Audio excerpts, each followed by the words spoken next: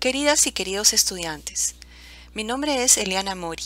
Soy la docente responsable del diseño de nuestra asignatura Seminario de Investigación, a la cual les doy la bienvenida. Esta asignatura tiene una forma de delivery o de dictado que se conoce con el nombre de blended. Ello quiere decir que algunas de las horas de clase las vamos a trabajar de manera síncrona, es decir, todos juntos en un momento determinado compartiendo el espacio de la sesión de clase y otras horas de la asignatura las van a trabajar ustedes de manera autónoma y asíncrona decidiendo en qué momento, en qué horario, ustedes van a generar las actividades que están todas ellas ya detalladas en nuestra aula virtual. El propósito fundamental o resultado de aprendizaje de nuestra asignatura consiste en que tú puedas ser capaz de conducir una investigación de manera colaborativa sobre un tema de tu especialidad. Para ello deberás aplicar, aplicar los procedimientos pertinentes y usar las herramientas tecnológicas adecuadas para la búsqueda, recuperación, almacenamiento y uso de la información. Para alcanzar el resultado de aprendizaje de la asignatura, tenemos establecidos cuatro resultados de aprendizaje por unidad. Así, en la primera nos vamos a enfocar en reconocer las características generales de la investigación académica. En la segunda, empezaremos a fundamentar nuestro plan de investigación para llegar a construir un artículo de revisión de la literatura. Así, en la última unidad, redactaremos colaborativamente este artículo. Para poder alcanzar cada uno de estos resultados de aprendizaje, los temas que se abordan a lo largo de toda la asignatura son los siguientes. La investigación académica y los problemas de investigación, paradigmas y tipos de investigación, el artículo de revisión de la literatura, que es nuestro foco central en esta asignatura, pues este es el producto final de la misma las fuentes de información, cómo clasificarlas, cómo buscarlas en bases de datos, cómo construir sus referencias bibliográficas y cómo citarlas cuando redactamos nuestros textos académicos. Así también veremos cómo construir el plan de investigación para nuestro artículo y cómo redactarlo.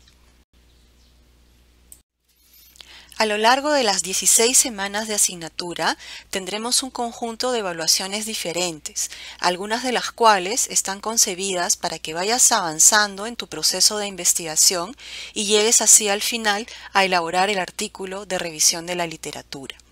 Por ello, una primera evaluación es la evaluación de entrada o evaluación diagnóstica que no tiene peso en la calificación.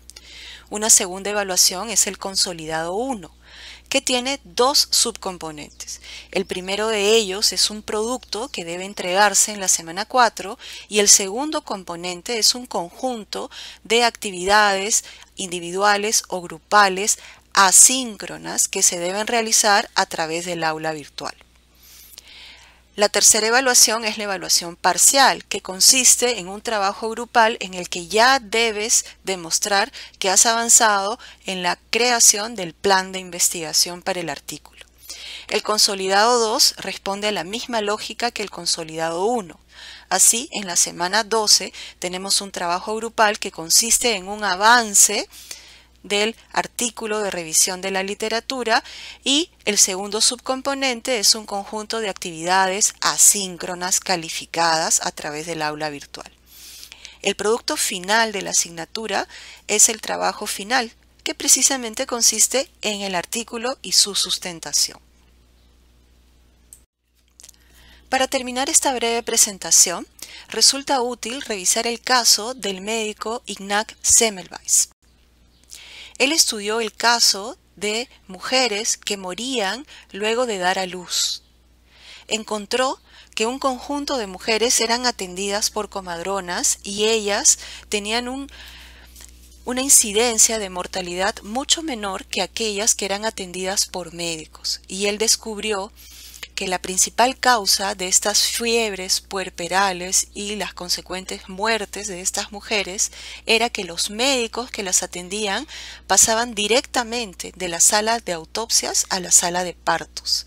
Gracias a los descubrimientos de, de Semmelweis se determinó los protocolos de asepsia que hasta ahora son fundamentales y necesarios en toda práctica médica.